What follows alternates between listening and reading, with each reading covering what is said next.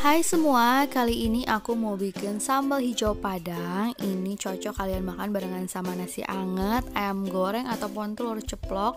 Pokoknya ini sedep banget.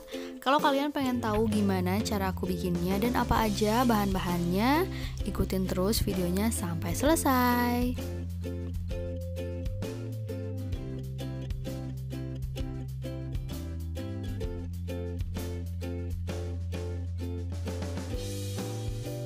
Untuk bahannya aku pakai 4 buah cabai hijau besar. Kalau ditimbang ini hampir 1 on. Lalu 15 buah cabai keriting hijau, 1 buah tomat hijau 5 siung bawang merah, 2 siung bawang putih 3 per 4 sendok teh garam, 3 per 4 sendok teh kaldu ayam bubuk Dan 3 per 4 sendok teh gula pasir.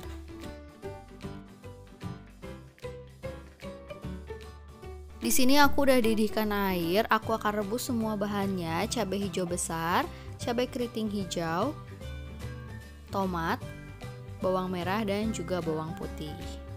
Kita rebus semua bahan ini hingga matang.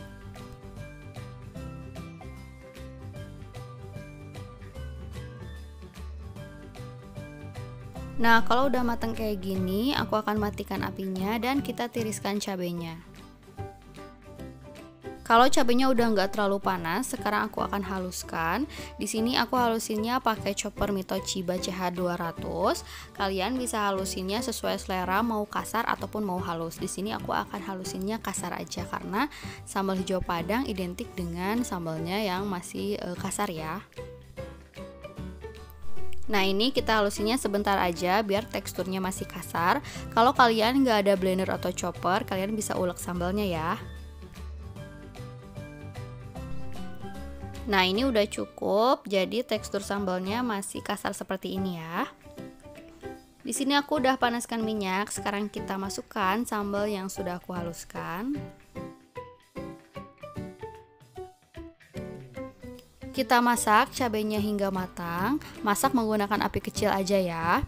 Kalau misalnya sambalnya kalian mau tambahin cabai rawit hijau boleh banget. Cuman karena di rumah aku lagi nggak ada cabai rawit hijau jadi aku nggak pakai.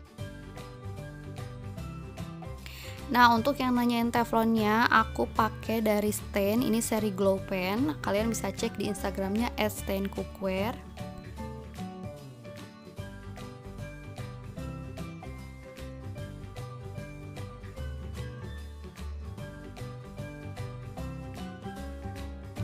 Kalau sambalnya udah harum, sekarang aku akan masukkan garam dan kaldu ayam bubuk.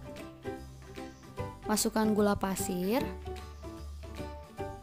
Aduk lagi nggak tercampur rata, kita masak sampai matang.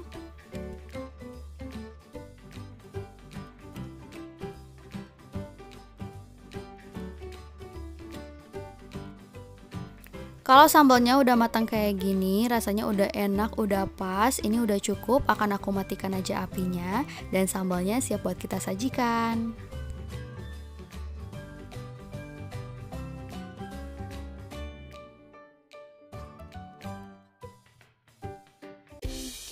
Nah ini dia sambal hijau padangnya udah jadi. Ini enak banget. Semoga kalian suka sama videonya. Semoga video ini bisa membantu buat kalian yang bingung hari ini mau masak apa.